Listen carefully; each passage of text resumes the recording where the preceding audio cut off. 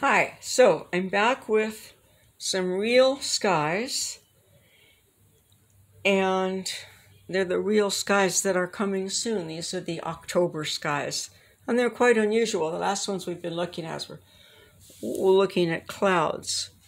Um, here, this is actually what it looks like outside right now, and this is a late summer afternoon, in September 2014. So that's where we are now. Um, okay, about sky. It's kind of a neutral sky, but if you look, do you see red and yellow in there as well? I've got some yellow that is reflecting the sun is coming down to here and reflecting yellow and reflecting yellow back on back onto some um, moisture up there. But very very glassy sea and a nice plain sky, but it's not. There's a lot going on in there.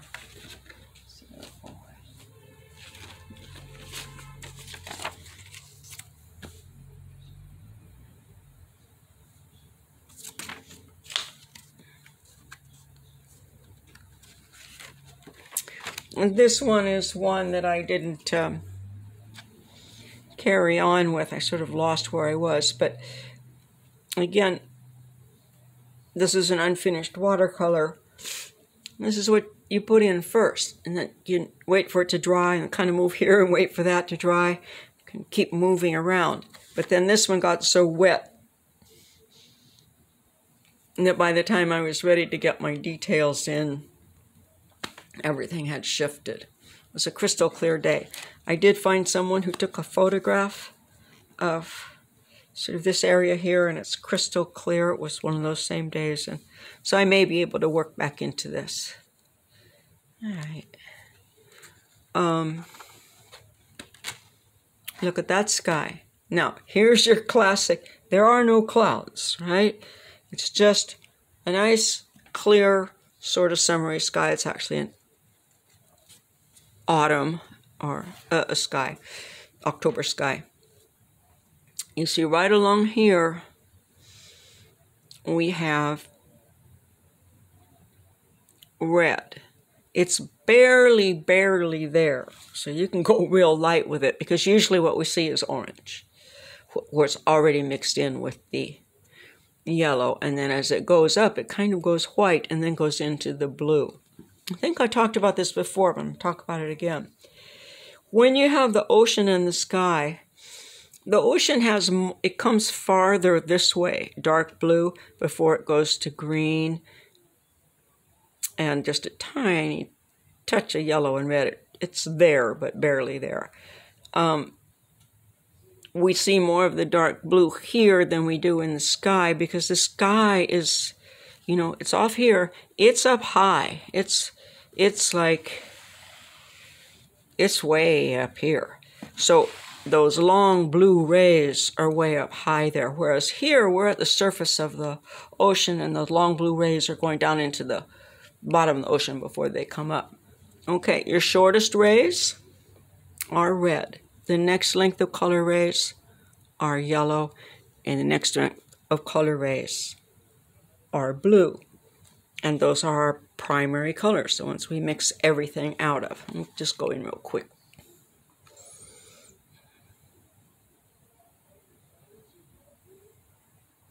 But these are um, done from life, so you just and um, I often had the chance to work several days on it because I'm doing this from my house with the view that I have and had. I'm losing this, I think. I love the windmill.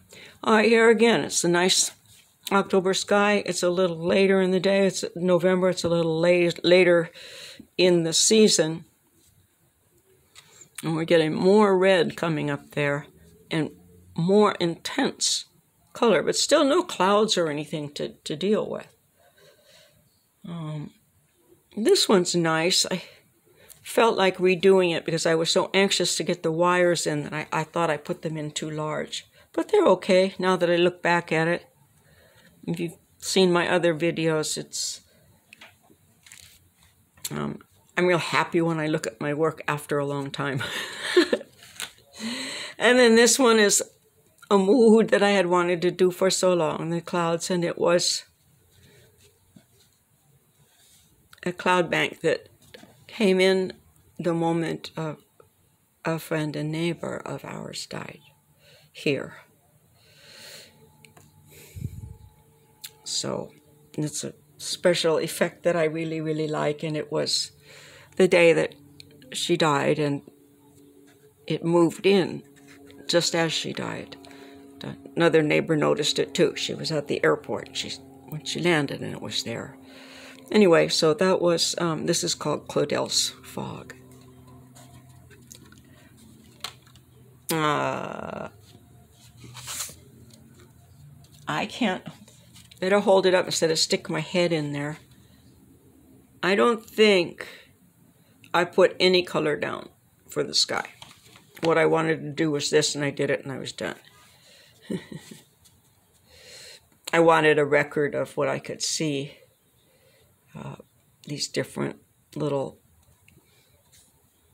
inlets and coves and things and as realistically as I could at that time. Also, this time of year, there's a golden yellow light that shines back here and here at somebody's house but this time of year, so I have vowed to try to catch that too. And then this is one of two pièce de resistance ones. This is the one I use on my business card. Getting the color of this fog. It's purple.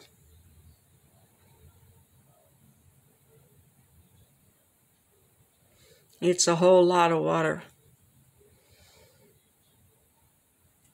But it's basically purple. And then the green and this is not a tube green, this is just the name, it's a celadon green, which I was imitating by mixing my colors. Celadon, C-E-L-A-D-O-N is a special Japanese and Chinese glaze that is this real pretty greenish, bluish color. This is a beautiful overcast day. The other pièce de resistance is a an acrylic, and it has the steam from these. I'm going to go get it